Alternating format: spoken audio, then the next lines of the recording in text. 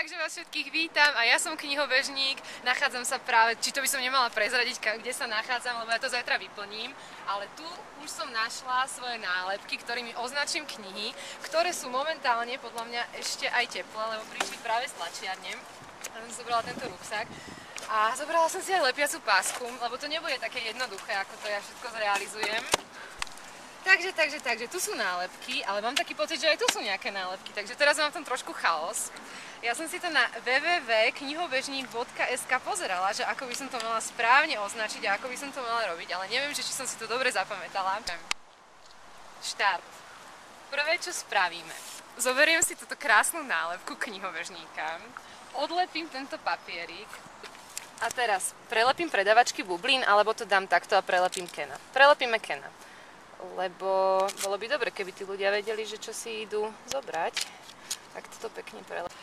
Teraz ďalšiu nálepku prečítaj ma a pošli ďalej www.knihobežník.sk moja obľúbená webová stránka. Tu nalepím na prednú stranu. Tak, asi takto. Dobre, dobre, dobre, dobre, dobre, rovno. Tak, tým pádom vidíme, že táto kniha dostala ID číslo 3001. Teším sa. A do tretice všetko dobré. Máme tu tretiu nálepku. Ak som to správne pochopila, to je tá malá nálepka. Áno, tá je tu. Presne tak.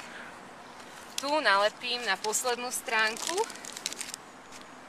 Ešte príde venovanie. To som si vymyslela, že ako budem kresliť kaktus lebo hlavná hrdinka miluje kaktusy, lebo hlavná hrdinka si myslí, že kaktusy sú oveľa lepšie ako ľudia. A že aj keď pichajú, tak aspoň to môže očakávať, ale to, že pichajú niekedy ľudia a sú podli a zlí, tak to zväčša nemôžeme očakávať, lebo si myslíme, že je to pravý opak. Dobre, takže myslím si, že v tomto momente e, máme to hlavné zrealizované. Prvá nálepka je tu, druhá nálepka je tu, tretia nálepka je tu. Ešte napíšem venovanie 18. októbra 2010. Vonku je zima, ale nesneží a ja píšem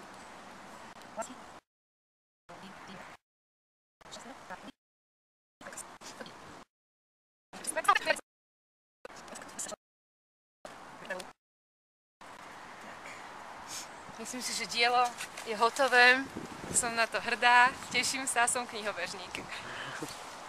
Teraz tu dáme do euroobalu, pretože sa nachádzame v exteriéroch. A aby, keby náhodou začalo snežiť, pršať alebo nejaká iná záležitosť by sa udiala, aby sa nám kniha nezničila, takto knihu oblepíme.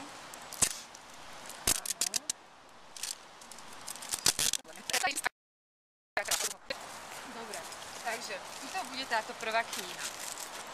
Teraz, dúfam, že nám vystačí páska. Ja by som potrebovala teraz nejakú asistenciu niekoho.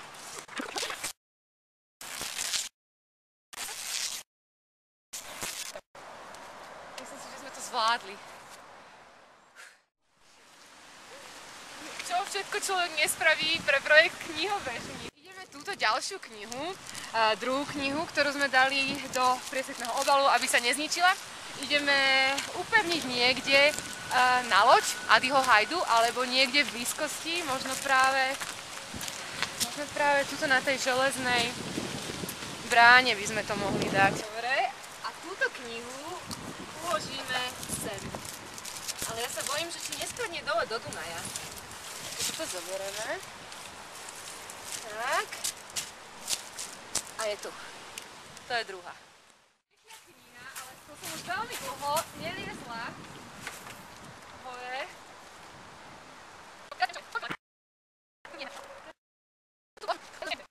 Dobre.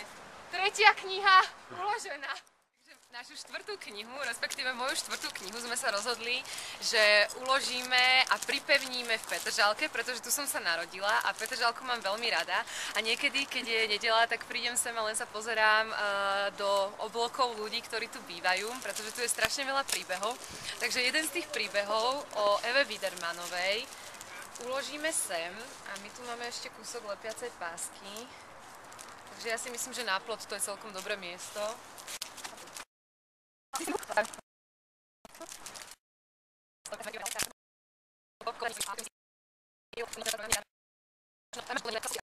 Štvrtá kniha Petržalka. Piatú knihu a ideme schovať, ideme ju skryť do jednej kaviarne, pretože aj v kaviarniach sa mnohé knihy píšu, aj čítajú, takže to bude presne miesto, kde dáme piatú knihu.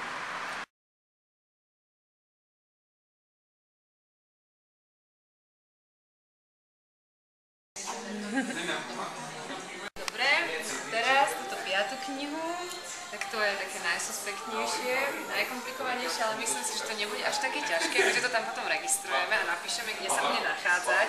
Ale normálne by na to nikto neprišiel, keby nešiel na stránku www.knihobežník.sk. Takže táto piata kniha sa nachádza práve tu.